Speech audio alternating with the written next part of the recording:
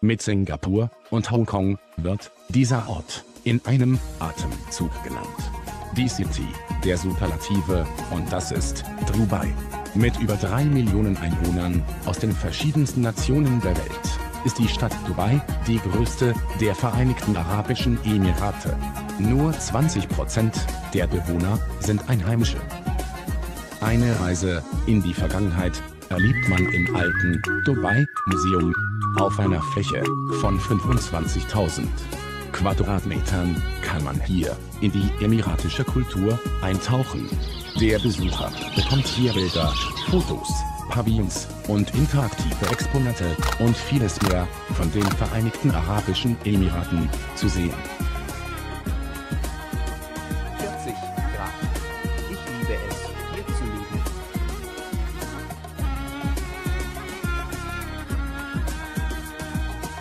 Nun geht's mit einer Schiffstour über den Dubai-Krieg.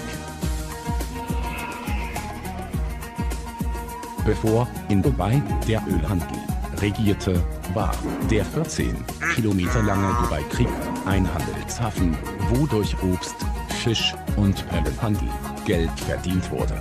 Keine Angst, Krokodile und Alligatoren gibt es hier im Fluss nicht.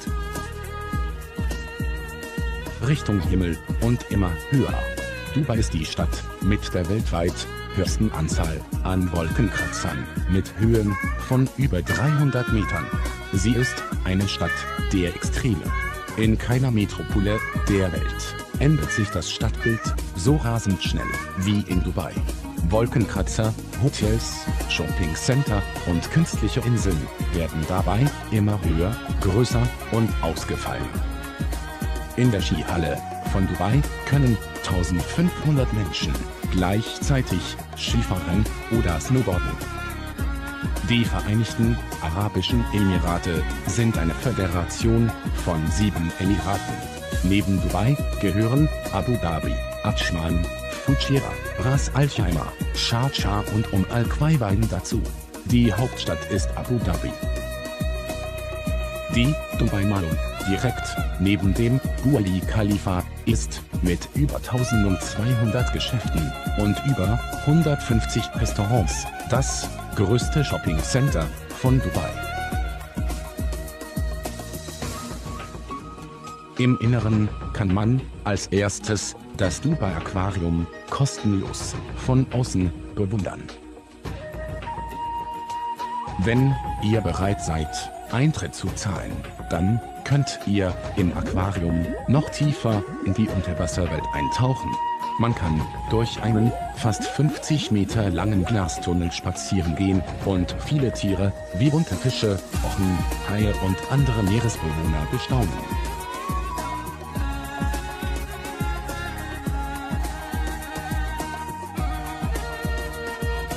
Die Währung in Dubai ist der Dirham.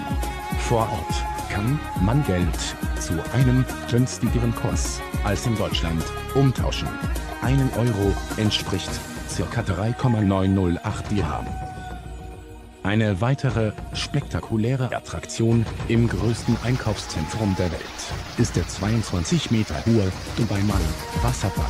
Man kann ihn schon von weitem hören und wenn man davor steht, wird es auch etwas kühler.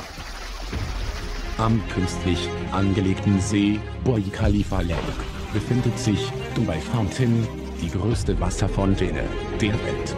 100.000 Liter Wasser schießen hier auf einer Breite von 275 Metern und einer Höhe von 150 Metern in die Luft. Der Burj Khalifa befindet sich direkt neben dem Einkaufszentrum. Und er ist mit 828 Metern der größte Wolkenkratzer der Welt.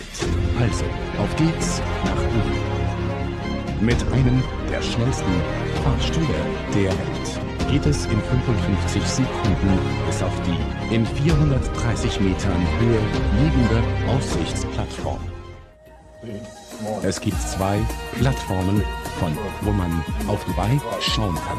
Zum einen dem 148. Stockwerk und 555 Metern Höhe befindliche Sky Lounge die aber keine Rundumsicht bietet, und zum anderen dem 124. Stockwerk und 430 Metern Höhe befindliche 360 Grad Plattform.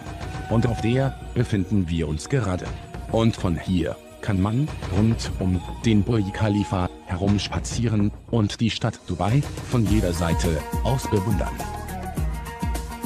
Dubai ist das extravagante Handels- und Wirtschaftszentrum des Nahen Ostens. Die Drehscheibe für Waren, Finanzen und Dienstleistungen. Geschäftsreisenden ist das liberale Emirat schon länger ans Herz gewachsen. Denn regelmäßig finden hier große Kongresse und Messen statt. Neben Sonne, Strand und klarem Wasser locken Luxushotels zum zollfreien Einkauf und sehr guten Sportmöglichkeiten. Die Restaurants präsentieren die großen Küchen der ganzen Welt. Das an Abu Dhabi und Sharjah grenzende Dubai besitzt 70 Kilometer Küste. Öl, das schwarze Gold, verhalf dem 4000 Quadratkilometern großen und zu über 90 Prozent aus Wüste bestehenden Emirat zu Gärten, Parks und Golfplätzen sowie zu Hochhäusern und modernen Palästen. Die Emirate sind durch vier- und sechsspurige Autobahnen begrünt und nachts beleuchtet. Schilder sind zweisprachig. Die Höchstgeschwindigkeit beträgt in der Stadt 50 Stundenkilometer und 100 Stundenkilometer außerhalb geschlossener Ortschaften. Frauen genießen hier absolute Sicherheit. Belästigungen sind verboten. Das Leitungswasser ist einwandfrei, Mineralwasser in Flaschen wird überall angeboten.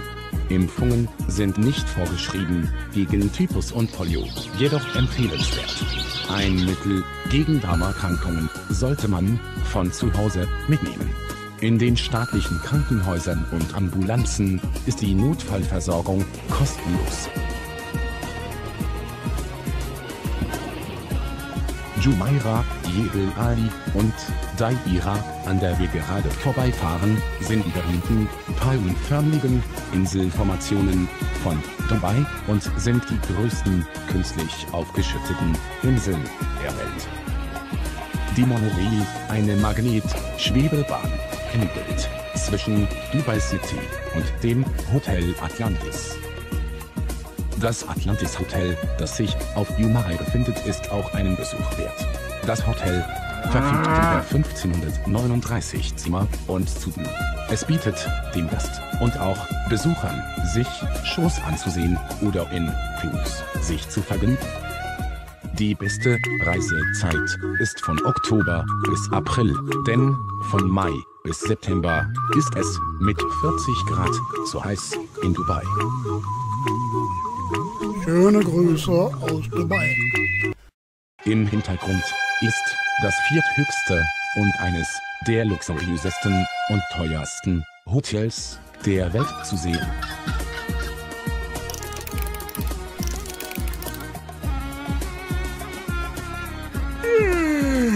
Das Burj Al Arab ist ein segelförmiges Bauwerk mit Hubschrauberlandeplatz und gilt als Dubais Wahrzeichen.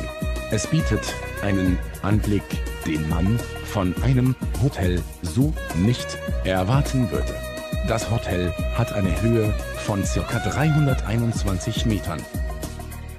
Eine Übernachtung im Burj Al Arab kostet zwischen 1500 und 25.000 Euro.